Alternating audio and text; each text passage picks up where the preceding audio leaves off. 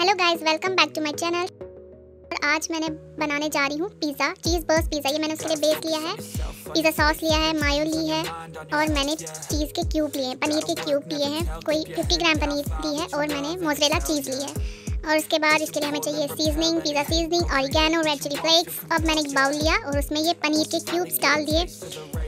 और उसके बाद अब मैं इसको मैरिनेट करने के लिए मैं इसमें half spoon half table spoon धनिया पाउडर डालूँगी और उसके बाद मैं इसमें हाफ़ टेबल स्पून मैं इसमें रेड चिली पाउडर डालूँगी और उसके बाद इसमें मैं हाफ़ टेबल स्पून गरम मसाला डालूँगी और उसके बाद इसमें मैं ऐड कर लूँगी one tablespoon curd one and half tablespoon curd add कर लूँगी और इसे अच्छे से मिक्स कर लूँगी। इसको मुझे अच्छे से मिक्स करके मैरिनेट करने के लिए रख देना है दस से पंद्रह मिनट के लिए।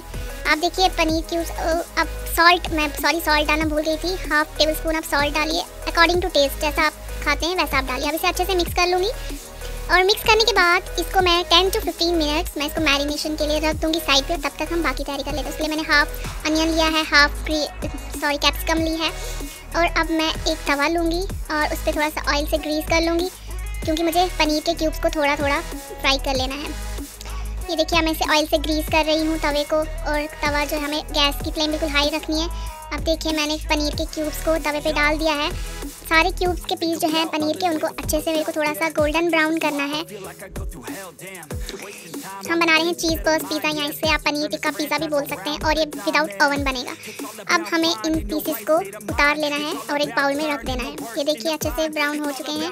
हल्का हल्का ब्राउन करना है इनको। अब एक कढ़ाई मैंने ली है, इसको मैंने प्री हीट कर लिया है टेन टू फिफ्टीन मिनट्स और इसके अंदर हमें एक स्टैंड रखना है ताकि पिज़्ज़ा की बेस जले ना। अब जो पिज़्ज़ा बेस है, इसको मैंने दो पीसेस में कट कर लिया है। वो मैंने इसलिए कट किया है क्योंकि मुझे इसके अंदर अमूल स्प्रेडशीट लगानी है। अगर आपके पास अमूल स्प्रेडशीट नहीं होगी तो आप मायो का यूज़ कर सकते हो। अगर आपको स्लिट नहीं लगाना है पिज़्ज़ा बेस पे तो आप ऐसे भी पिज़्ज़ा बेस के ऊपर सीधा पिज़्ज़ा सॉस लगा सकते हो। लेकिन मेरे पास अमूल स्प्रेड शीट थी तो मैं इसे वो पहले लगा लूँगी। अच्छे से इस पर फैला लूँगी अमूल स्प्रेड शीट अगर आपके पास नहीं है तो आप मायो का यूज़ कर सकते हैं। देखिए, मैंने अच्छे से स्प्रेड कर ली है अमूल स्प्रेड शीट और अब मैं इसको थोड़ा थोड़ा साइड से पानी लगाऊँगी, क्योंकि मुझे जो इसके मैंने बेस के दो पीसेस कर लिए थे, वो दूसरा बेस इसके ऊपर चिपकाना है तो वो खुल ना जाए, इसके लिए मुझे पानी लगाना है और इसे जो उसकी दूसरी बेस थी, वो इसके ऊपर अच्छे से चिपका देनी है, ताकि वो खुल ना जाए। अब देखिए, इसको पानी अच्छे से लगा दिया है, और अब मैं इसके ऊपर पिज़्ज़ा की वो जो दूसरी साइड थी, वो इसके ऊपर लगा दूँगी और इसे अच्छे से प्रेस कर लूँगी, ताकि ये ओपन ना हो जाए।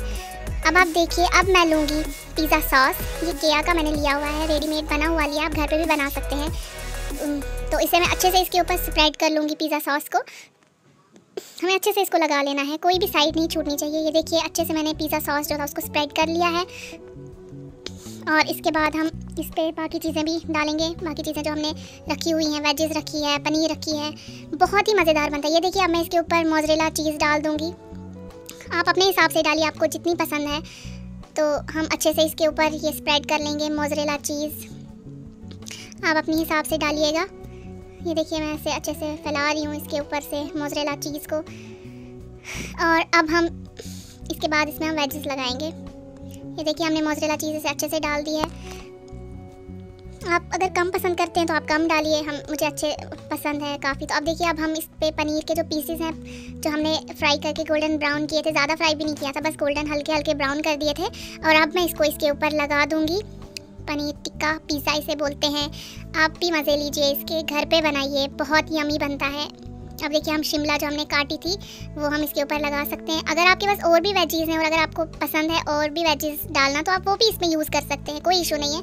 आप अपने हिसाब से कोई भी वेजीज़ यूज़ कर सकते हैं, बट मुझे इतनी ही पसंद थी तो मैंने इतनी ही डाली। मैंने प्याज और शिमला का ही यूज़ किया इसमें वेजेस में। अब देखिए, अब उसके बाद मैं जो प्लाइज सॉरी, जो मैंने प्याज रखे थे, कट करके स्लाइसेस तो उन्हें मैं इस पर लगा दूँगी और उसके बाद इस पर अच्छे से फिर से मोजरेला चीज़ स्प्रेड कर दूँगी। ये देखिए हमने ये लगा दी वेजीज अब मैं इसके ऊपर और मोजरेला चीज़ डालूँगी ताकि ये अच्छे से चीज़ी चीज़ी पिज़्ज़ा बने।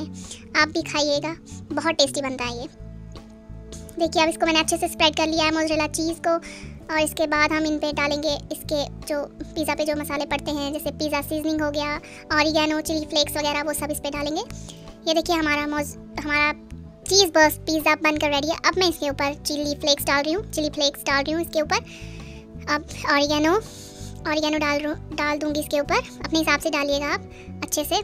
और उसके बाद मैं इसके ऊपर डालूँगी पिज़्ज़ा सीजनिंग। देखिए, पिज़्ज़ा सीजनिंग भी मैंने इसके ऊपर अच्छे से डाल दी है।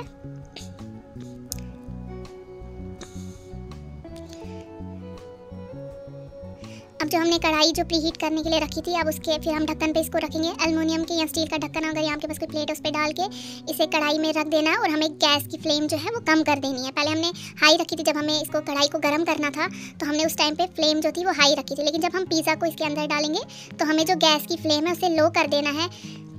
अब इसको हमें फ्लेम को लो करके इसको कोई 15 से 30 मिनट तक हमें इसे लो फ्लेम पर पकाना है। देखिए, चीज़ कितने अच्छे से मेल्ट हो चुकी है इसमें पिज़्ज़ा के अंदर। बहुत ही अमीर लगता है ये। देखिए, देखने में ही इतना अच्छा लग रहा है तो खाने में तो बहुत ही टेस्टी था ये। ये देखिए, हमारा चीज़ बर्स्ट या पनीर टिक्का पिज़्ज़ा इसे बोलिए। जो नाम देना चाहिए, वो दे दें। बन के रेडी है। चीज़ बर्स्ट पिज़्ज़ा जो हमारा बन के रेडी है। अब देखिए, कितने अच्छे से चीज़ मेल्ट हुई है। पनीर के क्यूब्स भी कितने यमी लग रहे हैं। आप भी घर पे ट्राई करिएगा। बहुत ही टेस्टी बनते हैं। अगर आपको मेरी रेसिपी अच्छी लगी हो तो प्लीज़ मेरे चैनल को लाइक शेयर और सब्सक्राइब करना ना भूलें। और देखिए, आप हमारा चीज़ बस पिज़्ज़ा बनकर तैयार हो चुका है। बहुत ही चीज़ी बनता है ये। बहुत ही टेस्टी बनता है। आप भी ज़रूर घर पर ट्राई करिएगा। अब दिखाती हूँ मैं आपको इसे कट करके ये कितना चीज़ी बना है। ये देखिए, आप इसे मैं काट के आपको दिखाऊँगी। बहुत ही सॉफ्ट और बहुत ही डिलीशियस बनता है। ये देखिए, बहुत ही चीज़ी बना था। Thanks for watching